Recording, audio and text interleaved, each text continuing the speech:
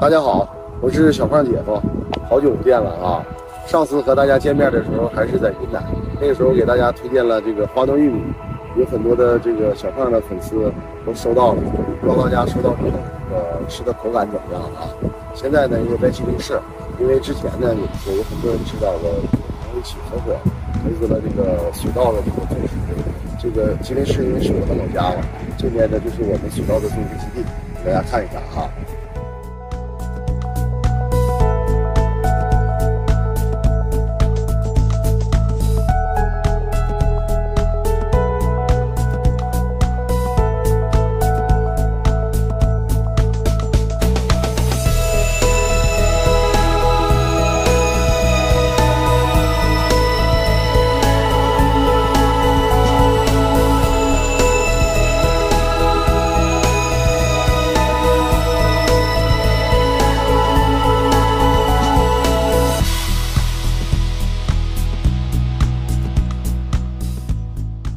大家都知道东北大米好吃啊，但是为什么东北大米好吃呢？它分为下面四有四个原因造成的东北大米好吃。第一个呢，就是这个黑土地，因为全球啊只有三个国家有黑土地，一个是这个在美国，一个是在乌克兰，第二个就在我们的中国的东北，这是土地。然后呢，第二个就是这个水质，因为这边呢是松花江流域的水质，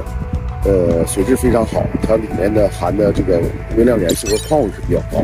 这是第二个原因，第三个原因呢，就是这个温度，因为东北的早晚的温差能达到了正负十多度，温差大的时候呢，它这个水稻的生长慢，所以说呢，它的这个里面的微量元素啊，或者各方面营养营养成分会更高一些。第三个原因呢，就是什么呢？东北是我们的水稻呢，一年只收获一季，然后它有一个充足的日照时间，你像我们的日照时间能达到了两千五百多个小时。在呃天气热的南方呢是达不到这样的，所以说这样呢才造就了咱们东北大米呢是口感是非常好吃的。再一个还有品种，就是我们的这边的品种主要有有三个品种，一个是这个稻花香，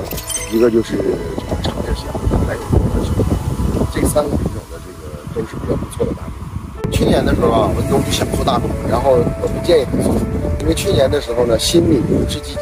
只有陈米的，然后因为大米的水比较深。呃，有几方面啊，因为我之前做了这个从事过这个行业，你像大米呢，他们为了把这个整体的贵的大米的价格做下来的时候呢，就掺到了贵的品种，稻花香，就是。再一个，陈米的出米率高，比新米的出米率高，他们用陈米去来掺新米，这样整体的价格就下来了。但因为我给文东啊这个来做这合作来做供货的时候，我压力比较大。因为像玉米的时候，我把玉米就是本来成本就很高，然后我们又精挑细选，这个把它选出来。因为这些所有都是农作物，它并一致性并不做到百分之百，所以说我压力比较大。但是像文东去年找我的时候，到今年我说一起跟他做呢，给他来做这个供货呢，我只能我能保证这以下几点啊。第一就是我的稻花香，说是稻花香，那就是稻花香，不会有一粒别的。这是第一，第二呢，不会有一粒是陈米，全是今年的新米，因为再有十多天，然后呢，这个米就可以上市了，大批量的上市。到那个时候，大家可以去尝一尝这个我们的这个稻花香，纯正的稻花香，呃的口感到底是什么样。还有一个呢，我跟文东也说过，我说我们的米啊，可以做到明年的二月份之后就不要再去销售了。你不是米不好啊，是因为我们的稻稻子。然后储存的时间长，它的口感下降，就是过了几个月，它的口感不如刚下来的米。可能到时候家人们觉得，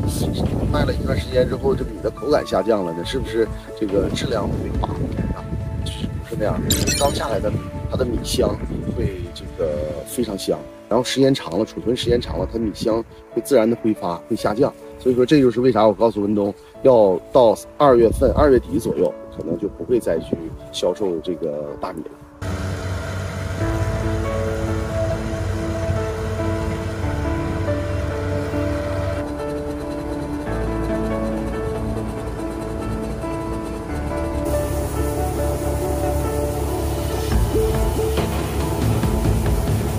其实呢，做企业呢，更多的还是做良心。呃，一呢，我会保证良好的品质啊，给大家。第二个呢，在同品质的哈情况下，我的价格一定会给出一定的优惠。啊，然后在同品质范围之内啊，你们去对比它的口感呐、它的价格呀，包括整体的后期服务啊。因为我也想把这个品牌做好，也想把我们的这个水稻啊，能在明年甚至后年，甚至一直在服务于你们，让你们想到大米，想到东北的大米的时候，就想到了大胖小胖，也想到了这个小胖姐夫啊，也欢迎大家随时监督和随时提出这个意见啊，谢谢大家。